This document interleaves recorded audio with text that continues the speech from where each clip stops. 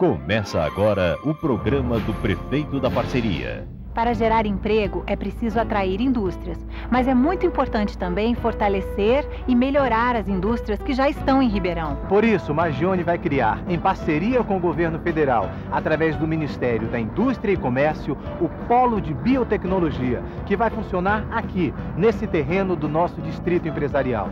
É um projeto que vai impulsionar ainda mais Ribeirão rumo ao futuro. Um protocolo para a criação do polo já foi inclusive assinado por Magione e pelo ministro Luiz Furlan.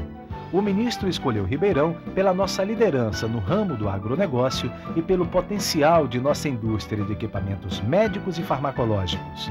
O polo não é promessa, é um compromisso do governo Magione. Proposta de Magione para a geração de empregos. Construir o polo de biotecnologia no distrito empresarial. A biotecnologia é uma ciência que cria e melhora produtos de várias áreas, como da área de alimentação, da agricultura e da saúde. No Brasil, ela ainda está engatinhando, mas no mundo todo já é um sucesso. O Polo de Biotecnologia vai fazer de Ribeirão novamente uma referência de desenvolvimento no país. Todo empresário que decidir trazer sua indústria para nossa cidade terá alta tecnologia à disposição na porta de sua empresa. O que é essa tal de biotecnologia? É uma ciência nova, produtiva, que através de técnicas modernas como a engenharia genética faz avançar a saúde, a agricultura e a produção de alimentos. Veja alguns exemplos concretos.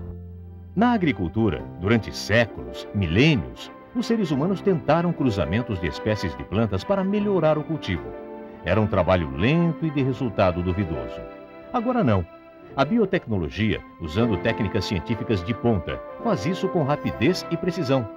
Ribeirão, a capital do agronegócio, vai crescer ainda mais com os avanços que o polo de biotecnologia vai trazer.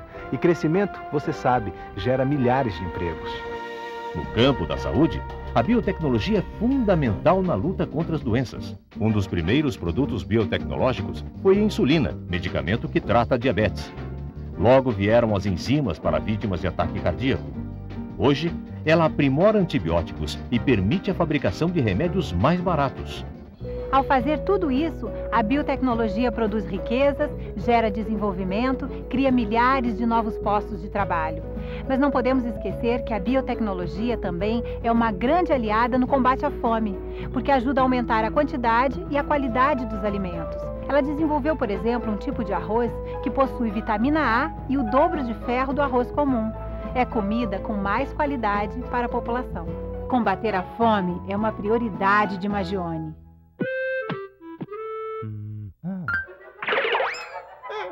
Magione fez dois bancos de alimentos. Se tiver um mandato inteiro, vai fazer muito mais. Como vai funcionar o polo de biotecnologia? O polo de biotecnologia terá três grandes blocos. O primeiro, com um centro de pesquisa. O segundo, para treinamento de mão de obra.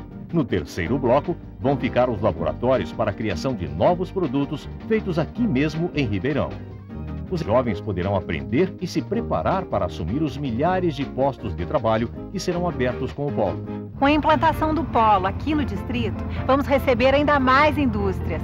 Todas as grandes cidades no mundo que abrigam polos de biotecnologia diminuíram o desemprego e aumentaram a competitividade de suas empresas nos mercados nacional e internacional. Em Ribeirão não será diferente. Nossa cidade vai se desenvolver ainda mais. Vai ter técnicos, vai ter pesquisadores, cria uma, um diferencial a nível Brasil, né? A gente vai contar com a utilização dessa mão de obra para também modernizar a nossa operação é, industrial. Devido a gente ter USP, e outras faculdades, eu acho que isso vai ser muito importante e vai gerar novos negócios e, consequentemente, novos empregos. Aperfeiçoar pesquisa, estudos, vai ganhar em mão de obra, vai ganhar em geração de empregos, vai ganhar em geração de impostos, em competitividade com as outras cidades da, da região.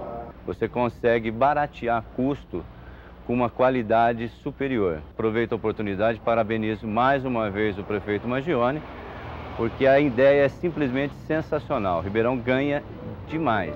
Ribeirão não pode abrir mão de um avanço como polo de biotecnologia. Para você ter uma ideia, hoje o país emprega 30 mil pessoas só nessa área. Não podemos trocar o distrito, que já está em obras, nem o polo de biotecnologia, que já está em negociação, por conversas de campanha. Milhares de empregos estão em jogo. Nesse segundo mandato, viveremos um novo tempo. Um tempo de prosperidade, de realização de projetos ousados e modernos. Vamos concretizar obras à altura da grandeza de Ribeirão. Plantão do Desenvolvimento. Vamos ver agora como avançaram as obras do Distrito Empresarial na última semana. É de lá que fala a repórter Roberta Tavares. Em 10 dias, as obras do Distrito Empresarial já avançaram bastante. Nesta semana, foram transportados 1.400 metros cúbicos de pedra para fazer a base da pavimentação. Foram abertos 350 metros lineares de esgoto e 250 metros lineares de rede de água. Foi feita a limpeza de resíduos de uma área de 20 mil metros quadrados e mais 1.500 metros cúbicos de corte de terreno para arruamento.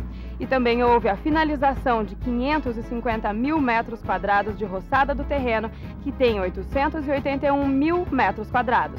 Já houve um prefeito em Ribeirão que achava que as indústrias não eram importantes para nosso desenvolvimento. E várias vezes negou incentivos da prefeitura para a atração de empresas. A edição do jornal Diário da Manhã, do dia 7 de abril de 1974, destaca esta frase do então prefeito Welson Gasparini. Se o município tiver que dar terra para atrair indústrias, onde iremos parar?